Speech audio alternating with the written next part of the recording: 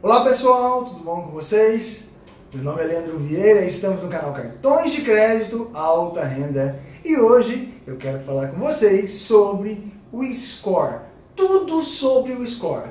Tenho muitas perguntas, né? Você pergunta, eu respondo no YouTube, no Instagram, no Facebook. Então são muitas perguntas, muitas perguntas, muitos pedidos para que eu fale tudo sobre o score. Então, vou fazer para vocês aqui um resumo sobre o score para que vocês entendam de vez tudo sobre o score. É sobre este assunto que iremos tratar aqui no canal hoje.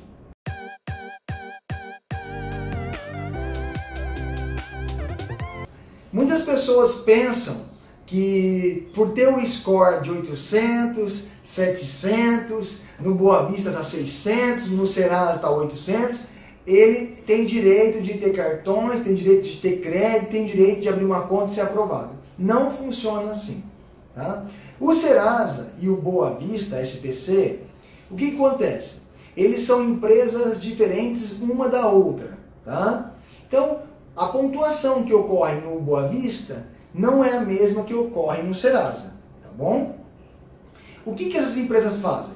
Elas capturam as informações do seu CPF, de tudo que você fez no mercado, tá? Então vamos dar um exemplo aqui é, das Casas Bahia. Tentar abrir um, cadastro e passou por lá e foi feita uma consulta, né?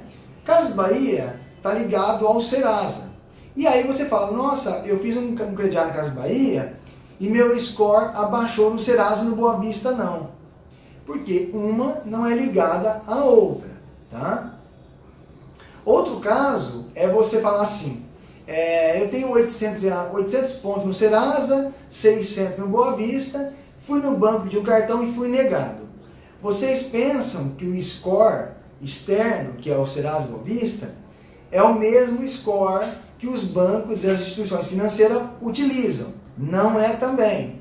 Então, o score do Serasa do Boa Vista é uma métrica, tá? Para o score do Serasa do Vista é um, um, um pilar para que as instituições entendam como que você está aí fora, tá? E aí você tem que trabalhar o seu score também com a instituição, tá? Então você tem conta no Bradesco, por exemplo, e você só é, utiliza crédito, utiliza crédito e não faz nada com o banco, o seu score pode ser que seja ruim dentro da instituição, né?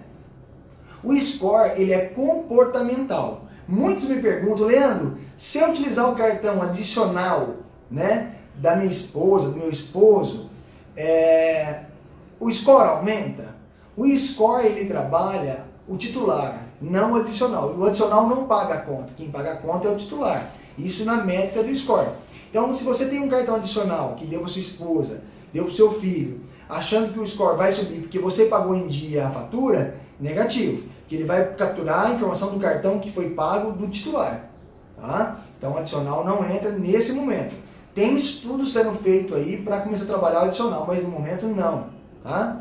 Outros me perguntam se eu comprar produtos do Boa Vista ou da Serasa, é, melhora meu score? Não também. Tá? Aquele Serasa antifraude, eu vou falar sobre ele também no, próximo vídeo, não entra, não melhora o score fazendo isso. Tá? No momento, nós temos aí quatro vídeos, o vídeo 1, vídeo 2, vídeo 1 e vídeo 2. Dois vídeos de entrevista que nós fizemos dentro da Serasa, com o gerente do Serasa, e dois vídeos que nós fizemos dentro do Boa Vista, com o pessoal do Boa Vista.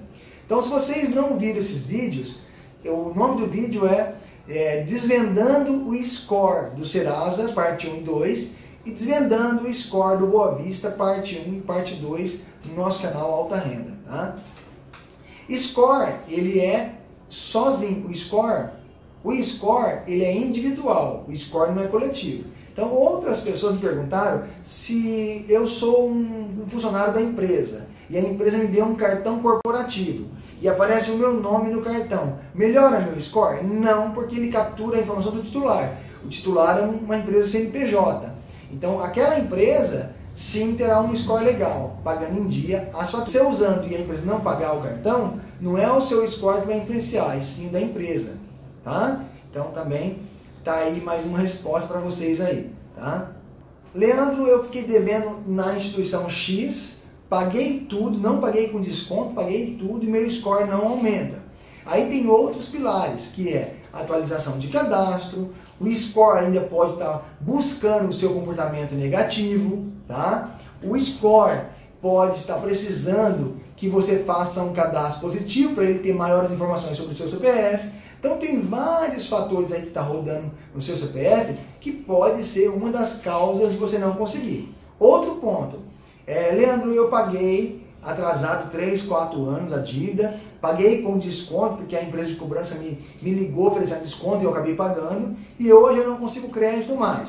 Também é um problema gravíssimo, porque aí você está com uma restrição interna nas instituições onde você teve o pagamento realizado com desconto, o Serasa Boa Vista informa isso para a instituição e aí você acaba sendo penalizado por ter pagado com muitos anos atrasado ou você estava até esperando caducar a dívida para conseguir é, não saldar essa dívida.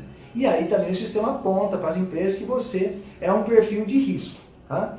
E o score também ele traça perfis de risco. Né? Então, tem pessoas que falam assim, eu tenho 18 anos, meu amigo tem 18 anos.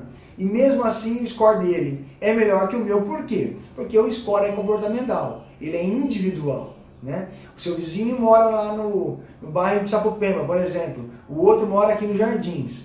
Então o sistema de score captura as informações e traz para o, o sistema e fala, olha, esse aqui é um perfil de risco e esse não é um perfil de risco. Por variantes, por várias variantes que está no seu CPF. Tá? Então esse aí é o vídeo de hoje referente a tudo sobre o score.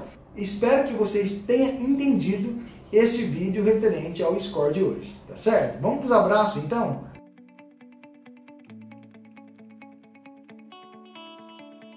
Hoje quero mandar um abraço para Guta Bernardes. Guta, um grande abraço. Para Edna Jacinto, Ribeirão Preto, em peso aqui no nosso canal Cartões de Crédito Alta Renda. Chegando já a 100 mil, hein? Daqui uns dias já estamos com 100 mil inscritos aqui no canal. Graças a todos vocês inscritos que dá aquela clicada aí, que compartilha nossos vídeos também, e está sempre ligado no nosso canal Alta Renda. Pessoal, eu espero que vocês tenham gostado desse vídeo. Até o próximo. Com Deus!